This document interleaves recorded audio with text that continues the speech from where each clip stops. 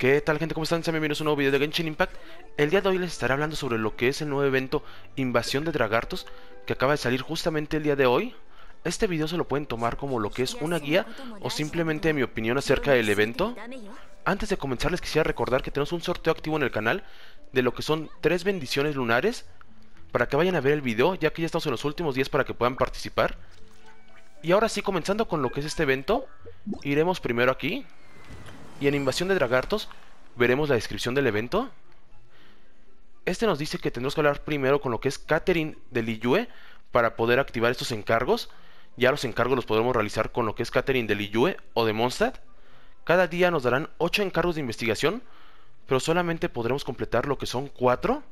Al completarlo obtendremos la recompensa básica y dependiendo del personaje que completara el encargo, podremos conseguir otras recompensas adicionales y dependiendo de los avances que consigamos en lo que son estos encargos, activaremos lo que son órdenes de búsqueda y captura. Hay que completarlas para obtener lo que son las recompensas y cuando finalice el evento la interfaz del mismo permanecerá abierta durante 3 días para recoger lo que son esas recompensas. La misión final también estará disponible durante esos 3 días y luego desaparecerá automáticamente. Esta descripción nos dice mucho. Lo primero que veremos es que aparte de lo que son estos encargos tendremos misiones de búsqueda y de captura, y esas se activarán dependiendo de los avances en lo que son estas misiones de encargo. Aparte de ello tendremos lo que es una misión final, no nos dice cuándo estará disponible. Otra cosa que veremos en lo que es este evento es que podemos recibir lo que es ayuda de amigos. En cada encargo que realicemos de esto de invasión de dragartos, podremos elegir al personaje de uno de nuestros amigos para que nos sirva como personaje de apoyo y así aumentar lo que son las probabilidades de obtener recompensas adicionales. Y los requisitos de participación es tener un rango de aventura 20 superior. Esto es muy sencillo. Ahora sí pasaremos a lo que es el evento. Como les comentaba, pueden hacer lo que son estas misiones con Catherine de Liyue o la Catherine de Mondstadt. Es lo mismo, pero sí deberán de activar primero lo que es la misión con lo que es Catherine de Liyue. Realmente no es como tal una misión, simplemente ella te activará lo que son los encargos. Entonces hablaremos con lo que es ella. Y aquí podemos enviar a alguien en una expedición. Y tenemos nuestras expediciones normales y lo que son las de invasión de dragartos. Como verán tendremos misiones de rango B, rango A y de rango S. También en la parte de abajo tenemos lo que es busca y captura. Ahora sí pasaré a explicarles cómo realizar estas expediciones. Primero iremos a lo que es una de rango S.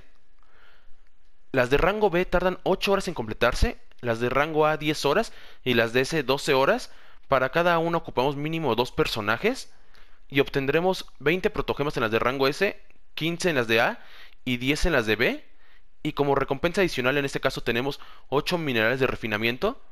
Recuerden que solamente podemos completar 4 misiones, así que lo ideal sería completar la de rango S, 2 de rango A y una de rango B, pero esto dependerá de su nivel y de qué tantos personajes tengan y también a qué nivel los tengan. Pasaremos a ver cómo se hace. Aquí veremos que tenemos un elemento recomendado y es Electro y Geo. Veremos la diferencia entre si seleccionamos a un personaje de elemento recomendado y a otro de cualquier elemento. Primero pondré a Mona, que es de agua. Y a nivel 70 nos va a dar 21% de probabilidad. Pero si la quitamos y seleccionamos a Razor, que es igual de nivel 70, pero es de elemento recomendado, nos dará 42% en este caso sería el doble. Así que sí es recomendado que pongan personajes del elemento que te recomiendan, ya que lo completarán más fácilmente. Y en la parte de ayuda de amigos, podremos seleccionar a cualquier personaje de nuestros amigos. Y entonces nos conviene seleccionar a un personaje obviamente de nivel alto y que sea el elemento recomendado. Por ejemplo, aquí seleccionaré a Shongli y ya tenemos 54% de probabilidad de recompensa extra. Ya nos falta menos. Entonces aquí yo elegiré lo que es a Noel de nivel 50 y a Beidou de nivel 20. Pero como vemos, solamente completamos lo que es el 96%. Así que hay que cambiar y elegir a los personajes. Quitaré a Noel y a Beidou y pondré a Razor y a Ningguang y ya tenemos 100% de probabilidad de obtener la recompensa extra, así que los mandaremos a investigar. Y ya tenemos como tal lo que es la expedición, tardará 11 horas y 59 minutos en completarse. Ahora iremos a una de rango B, de rango A. Aquí seleccionaré esta y nos darán dos libros de talentos extra. La verdad es que no sé cuáles son. Igual seleccionaré personajes. A menor rango de lo que es la expedición, mayor probabilidad nos darán lo que son nuestros personajes. Por, un por poner de ejemplo, aquí pondré a 20, que es de nivel 70. Y como verán ya no nos da 21% de probabilidad, nos da 28. Esto porque es una misión de rango A. Igual primero seleccionaré el personaje de algún amigo. Aquí el elemento recomendado será Pyro y Hydro. Seleccionaré a una Klee. Y esta nos dará 72% de probabilidad de recompensa extra.